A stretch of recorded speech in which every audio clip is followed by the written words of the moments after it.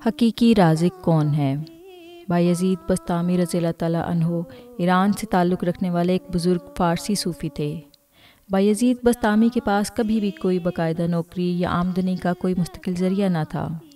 एक दिन उन्होंने एक इमाम के पीछे नमाज़ पढ़ी। नमाज़ ख़त्म होने के बाद इमाम ने बायजीद बस्तामी से पूछा, आप ना तो काम करते हैं और ना ही किसी और से कुछ मांगते हैं तो फिर आप अपनी रोज़ की रोटी कैसे हासिल करते हैं? इस पर बायजीद बस्तामी ने जवाब दिया, पहले मुझे एक बार फिर अपनी नमाज़ अदा करने दो, क्योंकि मैंने उस शख्स के पीछे नमाज़ पढ़ी है, जो ये भी नहीं जानता कि हमारी रोज़मर्रा की रोटी अता करने वाला कौन है। खुदा से